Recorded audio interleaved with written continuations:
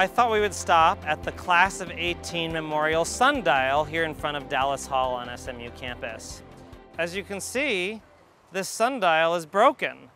There should be uh, a pointer here, which is called the style, which should cast a shadow on the face of the sundial, which should tell us what time.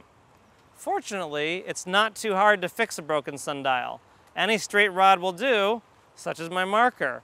I can just put it in place and then I get a nice crisp shadow.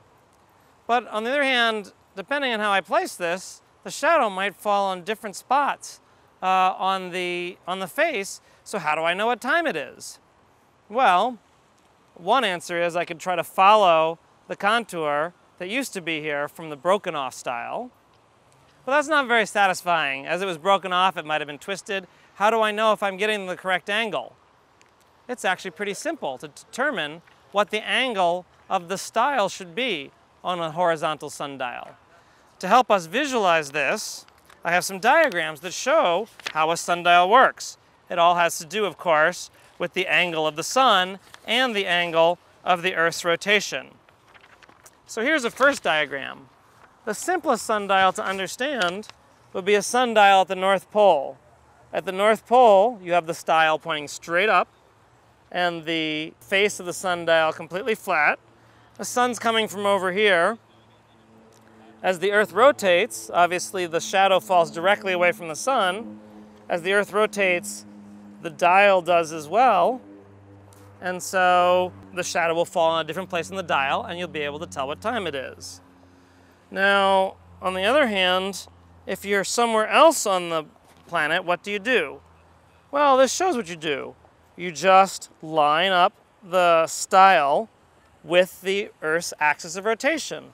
That way, as the Earth rotates, the sun seems to rotate directly around the style, and so the shadow will move around your dial.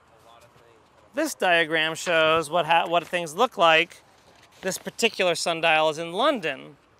You can see if we use this design, the style points directly along the Earth's axis of rotation so directly to, uh, in the same direction as the North Pole of the Earth points.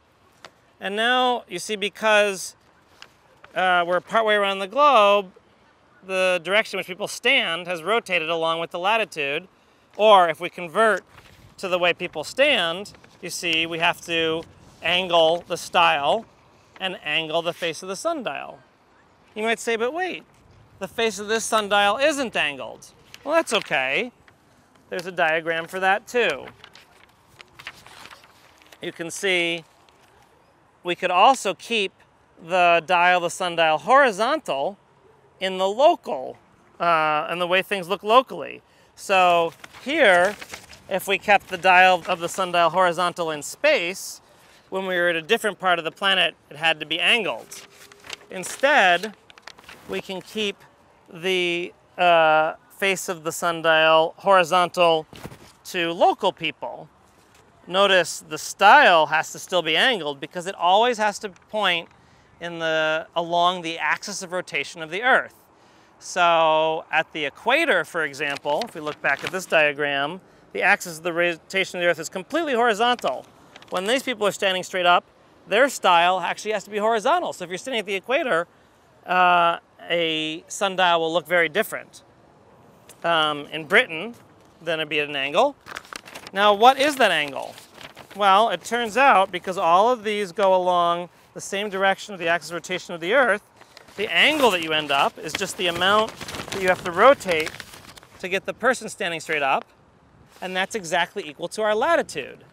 Here in Dallas, the latitude is just under 33 degrees, so to get the sundial to read correctly, we just have to make sure that our marker, or whatever rod we use, is pointing at an angle of 33 degrees.